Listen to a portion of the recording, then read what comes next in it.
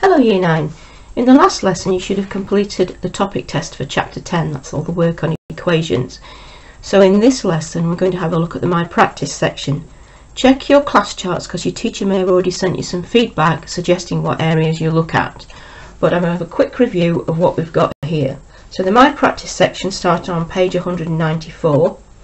We've got section 10a which was on linear equations. So if you need to do any practice on that, have a look at these on linear equations.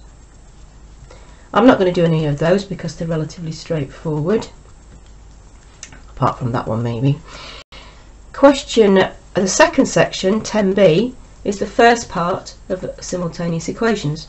That's the part where we have got all, we can find a pair of coefficients that are the same. So for instance in this one, you can see that the coefficients of y are the same, so that will be a matter of subtracting one from the other to eliminate y. And the same on this one, the a's are the same, so there's a each, each one is 3a, so I would subtract there to eliminate a. On this one, the n's, just look at the actual size of the number, the n, the coefficient in front of the n is the same, so I'm going to eliminate n, but because one's plus 3n and 1 subtract 3n, I'm going to add the two equations to eliminate n. So they're the most straightforward type of simultaneous equations you can get. If we move on to question section 10c, this is looking at the simultaneous equations where you don't have um, a pair of coefficients that are the same. So if I looked at this, part A, the coefficients of x are 5 and 3, not the same. The coefficients of y are 1 and 2, not the same. So before I can add or subtract to eliminate the x or the y, I'm going to have to change at least one of those equations. So I'm going to do one of those for you. I'm going to do 4f.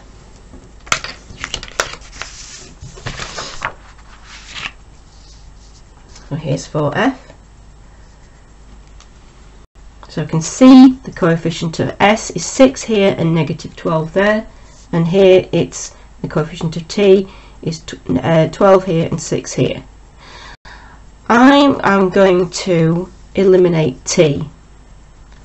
So that one stays the same and this one needs to be twice as big. So that equation stays as 6s take 12t equals 1 and this one once I've times it by 2 becomes negative 24s add 12t equals 8 so I'm eliminating t one's positive one's negative. Oh, or what I'm adding 12t here and taking away 12t there. So if I add both of those equations together so that's equation 1 and equation 3 then I will eliminate t so I have 1 add 8 on the right, which is 9, and on the left, 6 add negative 24s is negative 18s. So I end up with s is equal to 9 over 18, and I'm dividing by a negative number, so the whole thing is negative. So s is equal to negative a half. Not a very nice answer. So substituting then into, what shall I go into? Well, I need to find t. t is positive here, so I'm going to substitute into equation 2. So substitute into 2, which gives me negative 12 times by s, which is negative a half, plus 6t is equal to 4. Oops. Negative 12 times negative a half is plus 6, so 6 add 6t is equal to 4, which means that 6t is equal to negative 2, and t is equal to negative 2 sixths, which simplifies to t is equal to negative a third. So not a very nice answer for that one. Moving on to section 10d. These are where you construct the equations. So we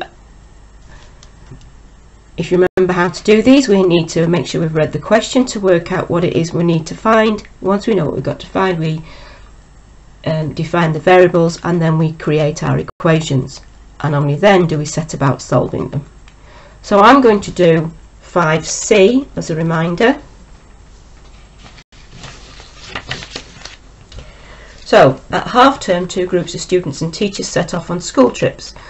71 people on the year 9 trip just fill three minibuses and five cars, whilst 33 people on the sixth form trip fill one minibus and four cars. How many people can each type of vehicle hold? So there's my question. How many can each type of vehicle hold? So I want to know how many people in a minibus, how many people in a car. So they're my variables. Right, so just for a bit of a change, instead of using X and Y, I'm going to let M be the number of people in a minibus and C be the number of people in a car.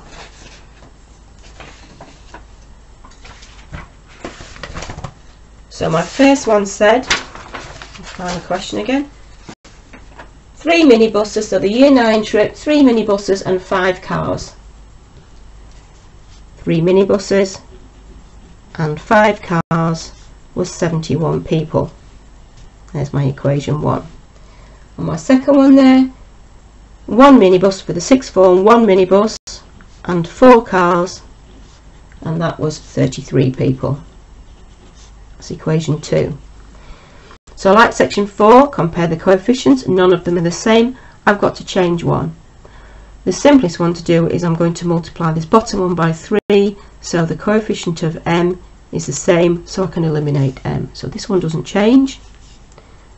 This one I'm going to take equation 2 and I'm going to multiply it by 3. So that's still 3m plus 5c equals 71 and this one becomes 3m plus 12c equals 99. So still equation 1. Now I've got an equation 3. I've said I've already set out to eliminate m. So take away equation 1. 3 3m take away 3m nothing. 12c take away 5c is 7c. 99 take away 71 is 28. So divided by 7, c is equal to 4. That tells me there are 4 people in the car. No surprise there. So back into equation 2 is the easiest one to do. So substitute into 2 and I get m, because I still need to find that, plus 4 lots of c. So 4 lots of 4 is equal to 33. m plus 16 is equal to 33. So m is 17 which tells me there's 17 people in a minibus. I've solved my equations. Now I need to finally write down the answer to the problem. The problem said how many people does each type of vehicle hold? So a minibus holds 17 people and a car holds four people. So there's my answer to the, to the problem. Okay.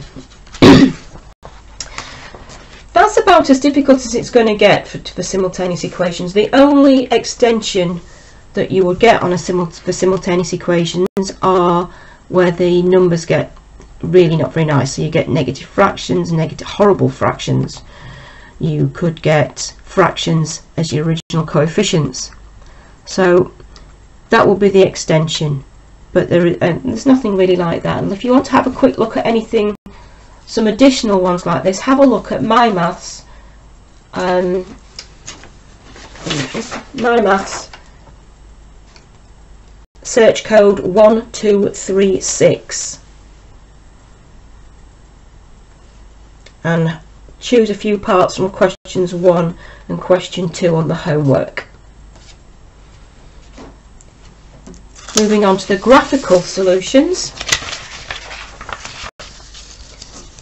Now there were none of these on the test, which is a shame. So if you know you needed a bit more practice with these, have a go at these. The first one's already drawn for you, so that's dead straightforward. The second one isn't. The second one, it says solve graphically these simultaneous equations. So if they've just been drawn for you, you uh, if just been written for you, you have to draw the equations as straight lines. Remember that the best way to do this is looking at the coordinates where they cross the different axes. So on that first one, if I've got y is equal to 5x minus 2, crosses the y-axis at x equals naught. So that will be x is equal to naught, y is equal to 5 times by nothing, take away 2, which is negative 2. And this one here, oh, and it crosses the x-axis.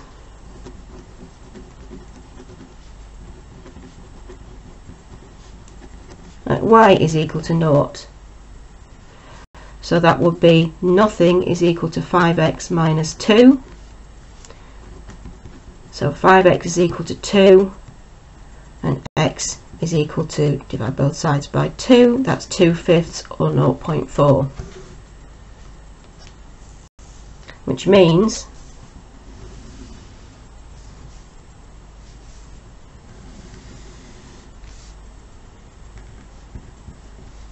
crosses the y-axis at negative 2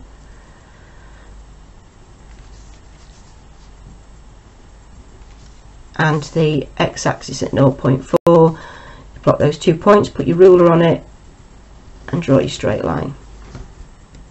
Okay. So those are my two points.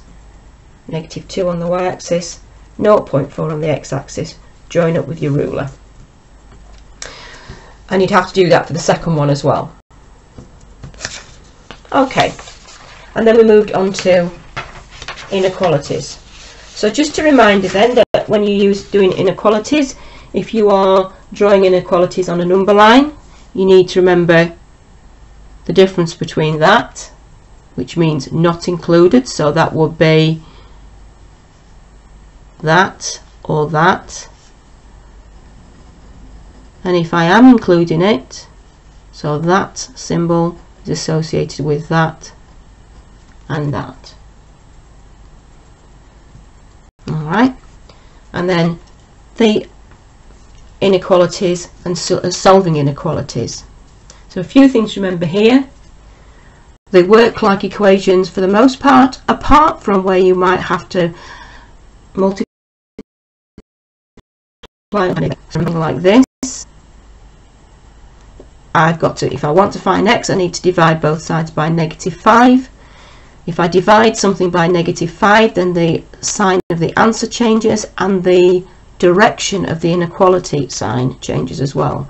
So if I was to do this one, negative 5x is less than 20. I'm dividing by negative 5. So that becomes 20 divided by negative 5 is negative 4. So that's gone from a positive to a negative. So this changes from less than there to greater than there. So that's possibly the most difficult it's going to get, although there is a nice extension that you could do for inequalities. So we've seen this type of equation where we do the same to both. So we've got unknown both sides, we've got brackets both sides, we do the same to both sides, just like we would do in an equation. And then you've seen the ones that look like this.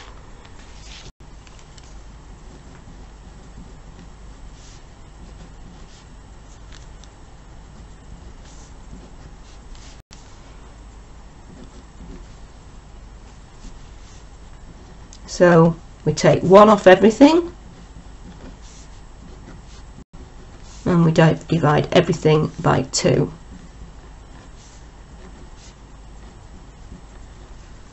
And we get that. well there is a lovely extension which you can do which I'll tell you where in my maths it is in a moment which is this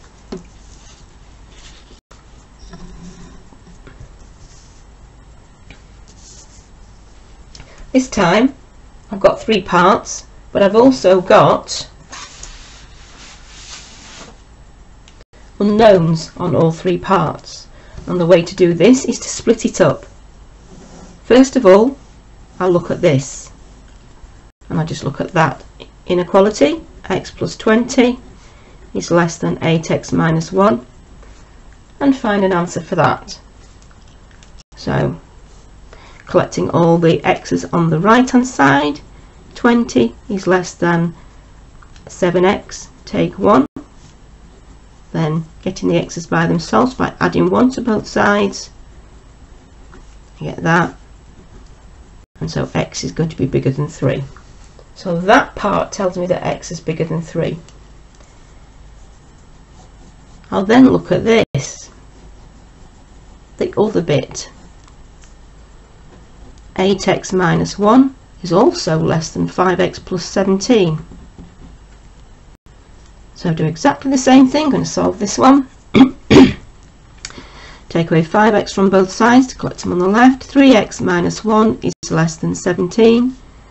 3x then is less than 18. x is less than 6. So I look at this on a number line, this part tells me that x is bigger than 3. This part tells me that x is less than 6.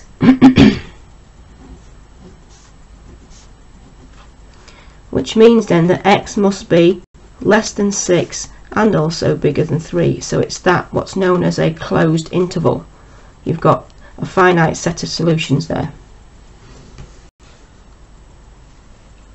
So it's continuous between 3 and 6.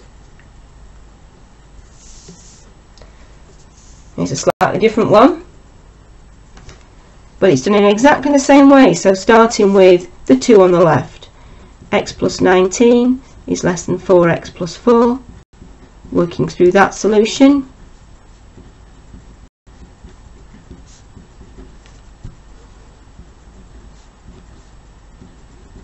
I get x is greater than 5 and then the other one 4x plus 4 is less than 2x plus 4 so 2x plus 4 is less than 4 2x is less than 0 which means x is less than 0 so looking at what that looks like I've got nothing and I've got 5 so x is bigger than 5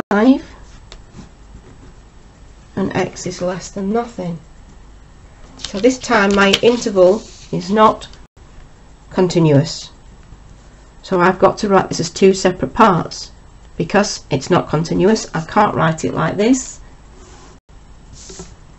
I've got to write x is less than 0 and x is greater than 5. This is a skill that you'll come back to at GCSE when you start looking at things like quadratic inequalities. Okay, so that about covers everything. The last section here is trial and improvement.